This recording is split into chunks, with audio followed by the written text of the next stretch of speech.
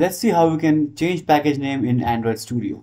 So right now, as you can see here inside my Java, there is a package called com.thecodecity.old package name. And now if I go inside my Gradle scripts and there is this module app, app level build.gradle file, double click on this.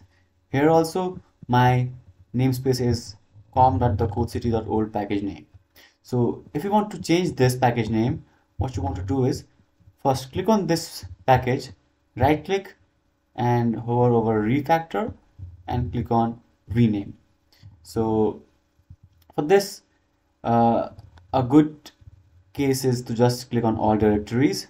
So click on all directories and instead of old package name, let's say we want to put it new package name.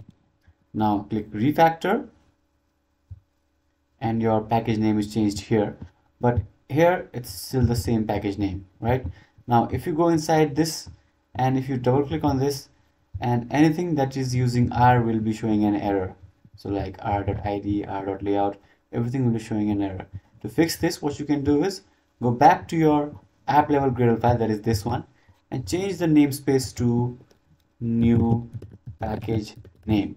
This is the same name as this one. Now you can also change the application ID, but application ID has no effect.